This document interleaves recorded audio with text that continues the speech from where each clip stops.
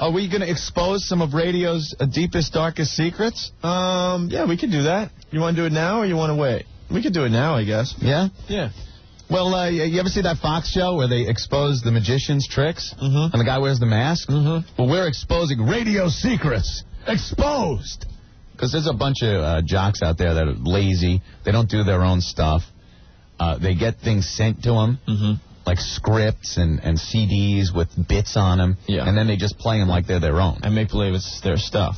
One thing. And then, I- then there are jocks that'll just play like old comedy CDs, and yeah, yeah. and that's as creative as they get, and they think they're doing great radio stuff. Yeah, they do some kind of like, you know, funny. Five o'clock funnies Yeah, like that. stuff. That's what, a package stupid thing. Yeah, let's let's play an old George Carlin record and make Yeah. believe I'm funny and and uh, creative and entertaining. Yeah. Yeah. Well, regardless, at least uh, there are a few people out there that that just do their own stuff. Like we like to do that, our own stuff. We try, Mm-hmm. and uh, you know, sometimes we're successful, and other times we fall on our face. We know that, But we're not going to take a prepackaged thing and say it's you know ours. Right. It's terrible. right. At least we try.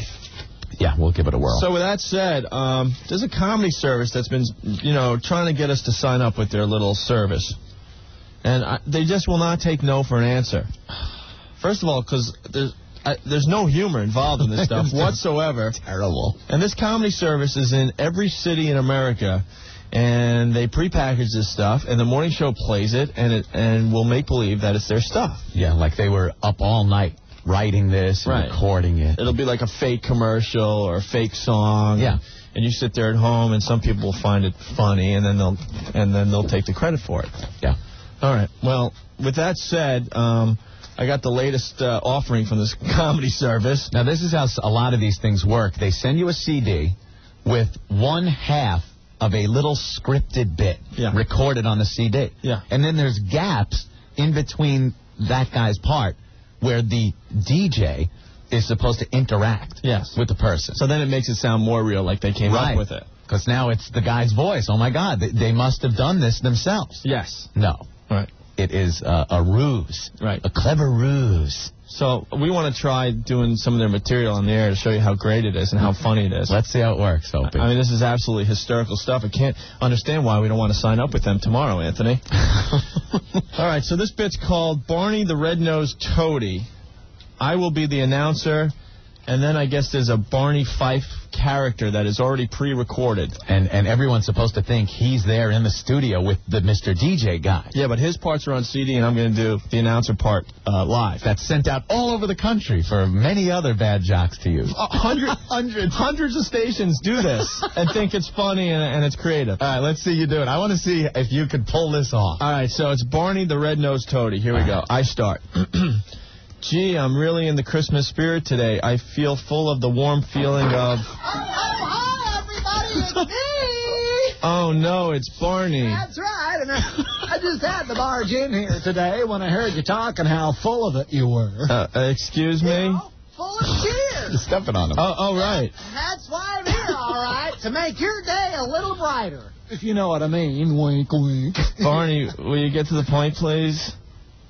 Thought you'd. I'm here today to introduce you to a lovable new character who's sure to brighten this special season and many holiday seasons in the future. Uh, Barney, I don't know what you're talking about. I'm getting there. Hold your reindeers. Didn't give you enough time. All right, brother. Yes, great tradition of Santa Claus, Frosty, the Grinch, and all them other characters. Let me introduce you to someone sure to become an unforgettable Christmas icon.